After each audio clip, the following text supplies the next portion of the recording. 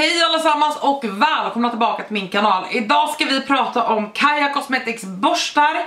Jag gjorde nyligen en video där jag testade alla borstarna och pratade lite om dramat och även testade jag ansiktspaletten. Idag ska vi göra någonting annorlunda. Jag har testat borstarna, jag har använt dem flera dagar, jag har fått hem mina egna nya fina vackra borstar och ni får se om draman är den i min gamla video. Och idag hade jag tänkt att jag skulle visa er exakta dupes på borstarna eller borstar som funkar lika bra som kosmetikborstarna borstarna eller rent av är bättre. Det här är för att ni ska lite lättare kunna avgöra om ni behöver en Care Cosmetics borste, hur de ser ut, hur stora de är, jämföra med andra penslar som finns att köpa i butik och så vidare.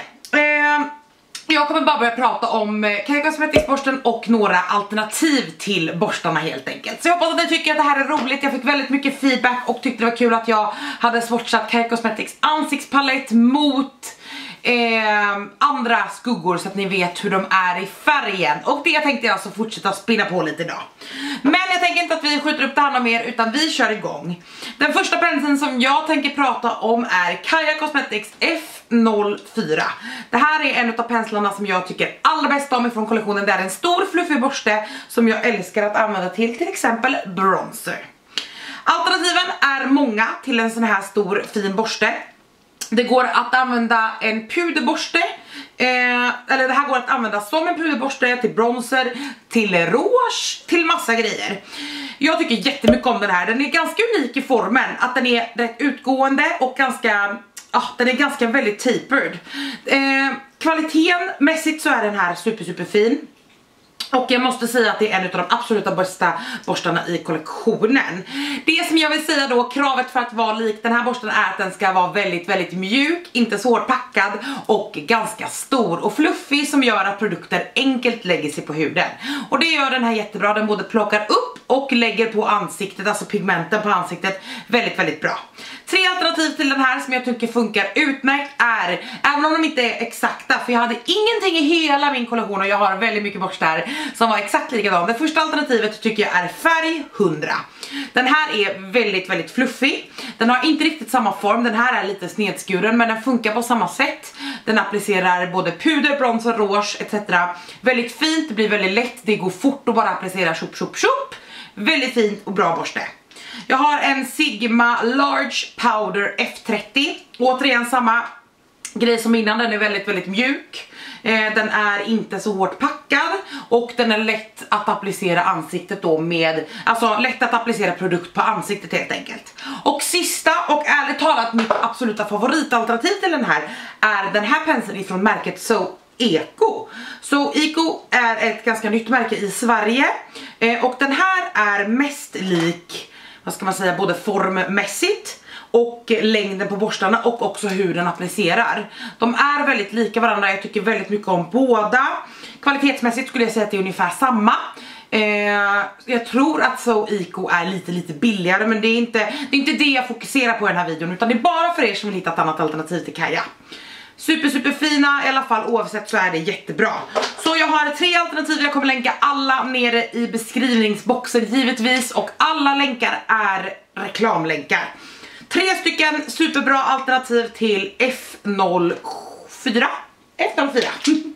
Sedan har jag en av mina absoluta personliga favoriter ifrån den här kollektionen också från Kaja och det är Kaja F05. Det här är en väldigt speciell borste, den är lång, alltså väldigt lång så, den är väldigt fluffig och den är väldigt väldigt följsam som ni ser. Det här påminner mig väldigt mycket, det är inte en exakt likadan borste men det påminner mig väldigt väldigt mycket eh, min absoluta favoritpensel ifrån Smashbox och ni vet ju vid det här laget att det här är en av mina favorit. Det här är tyvärr avskav på den här och jag lär mig aldrig. Jag tror att jag tror att den heter Sheer Powder, det är i alla fall den större utav de två som har den här formen. Om ni ser så är formen liknande, inte exakt likadana och storleken varierar också lite.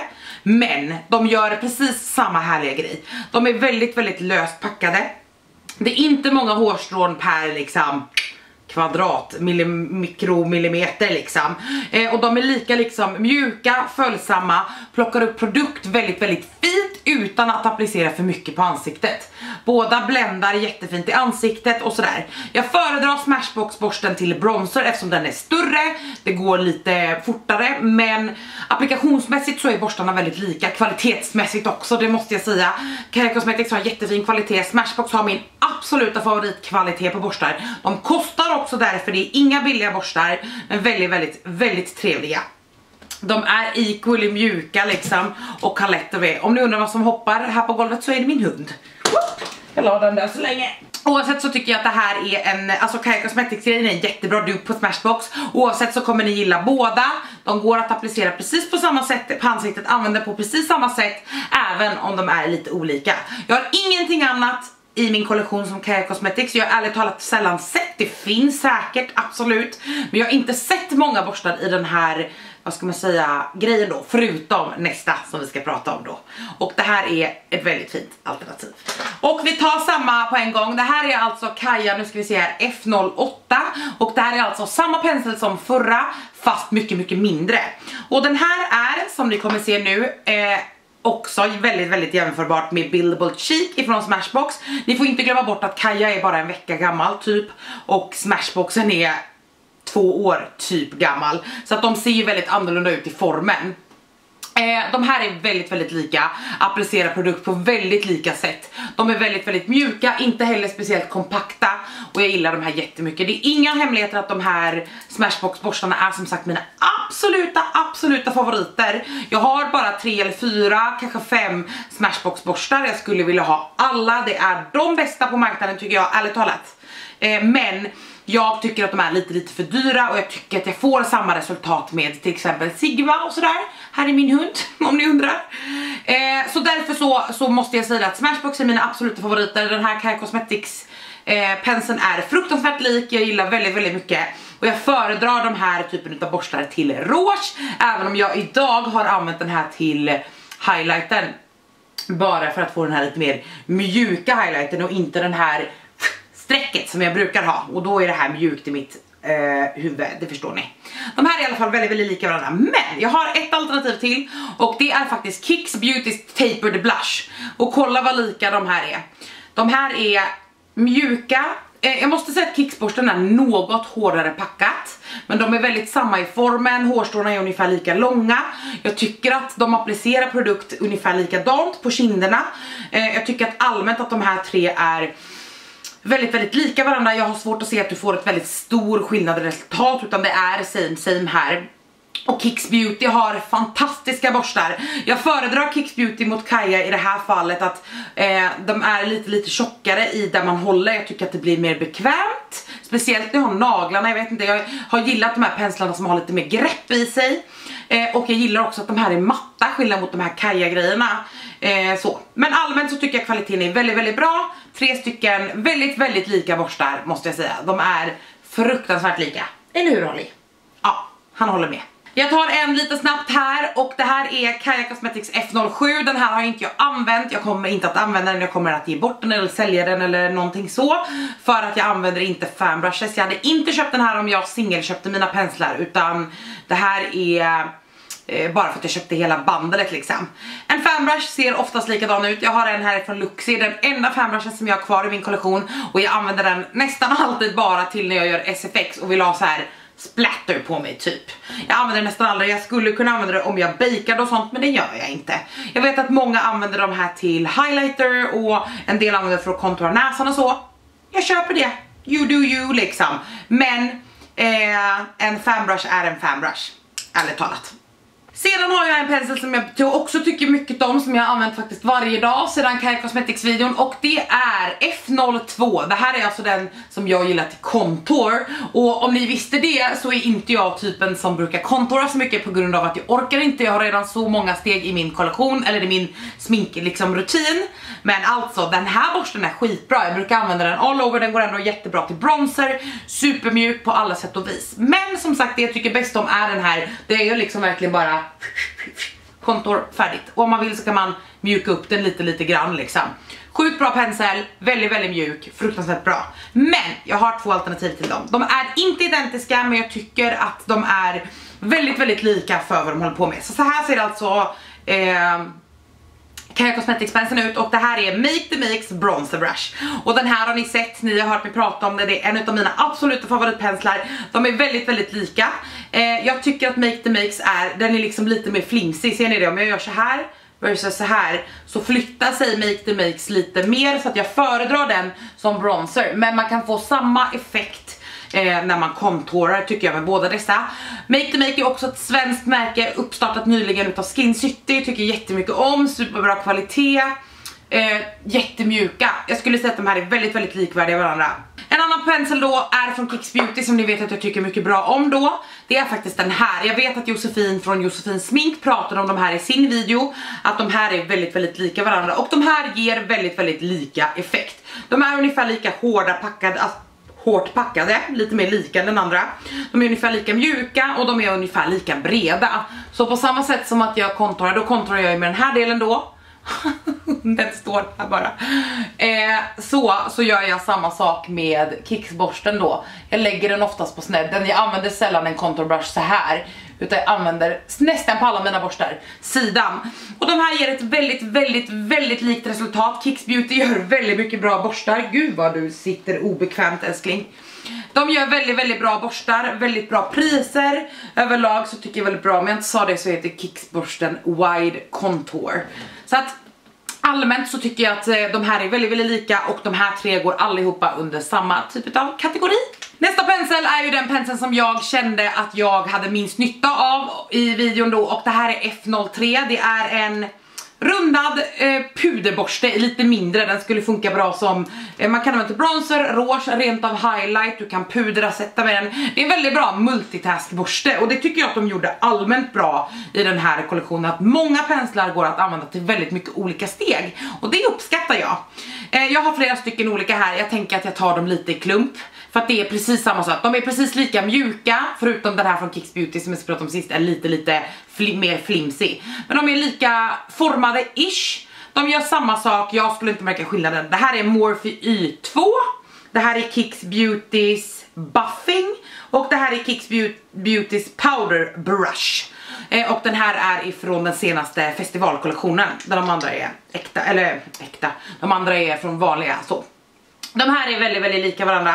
De skulle applicera alla typer av produkt samma sätt förutom kanske då att den här är något mjukare. De här tre är väldigt, väldigt lika varandra. Den här är något mjukare som gör att kanske applicera saker lite, lite annorlunda. Eh, men överlag så tycker jag att alla dessa penslarna har samma typ av effekt. Man skulle kunna applicera alla dessa grejer lika bra på ansiktet. Och eh, det står jag för, verkligen. Superfina borstar allihopa. Det här är inte en typ av borste som jag använder så mycket. Då använder jag mycket hellre en sån här stor fluffig som jag pratade om först, alltså nummer F04. Jag tycker att den applicerar saker finare, plus att man kan använda kanter och sånt om man vill ha på ett mindre område. Väldigt fina penslar allihopa. Inte min typ av favorit och då försöker jag ändå rensa ut de här men jag behåller alltid 150 stycken för det kommer i alla kit, på alla sätt och vis, alltid, varje gång. Kan det vara så att jag är på den sista Kaja-penseln? Det kan det nog vara. Den här har jag använt till foundation och foundation only. Eh, och det är något som jag verkligen har uppskattat den till. Den här typen av pensel, det här är alltså för övrigt F06 från Kaja Cosmetics. Går att använda till alla steg vi pratade om innan. Foundation, concealer, puder, bronzer, rouge, highlighter också för all del. Tycker jättemycket om det, funkar jättebra. Det här är dock bara en helt vanlig ingenting speciellt nedskuren pensel. Och den penseln som jag tänkte prata om i videon som inte jag hittade då för den var på tvätt och nu är den skitig igen, story of my life, det är det här. Det här är Luxi 504. De här är, eh, kajan är lite lite större, mm, då menar jag minimalt mycket större. Eh, annars är de här mer eller mindre identiska. Jag skulle inte märka skillnaden vilken av de här jag använde. Superbra penslar, eh, superbra. Det här är en typ av pensel som alla borde ha i sin kollektion och vill man ha en mjukare contour så skulle jag verkligen rekommendera att använda en sån här pensel och då lägger jag den korta sidan där har jag lagt mest färg liksom så och sen brukar jag hela vägen upp. Jag tycker att det blir jättefint, det är en sån här typ av pensel använder jag väldigt mycket när jag sminkar andra människor.